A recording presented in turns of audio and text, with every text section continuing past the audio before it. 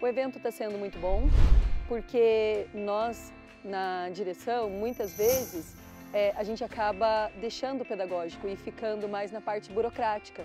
E essas oficinas, elas nos trazem que uma escola realmente boa é uma escola onde o pedagógico funciona, onde o aluno aprende.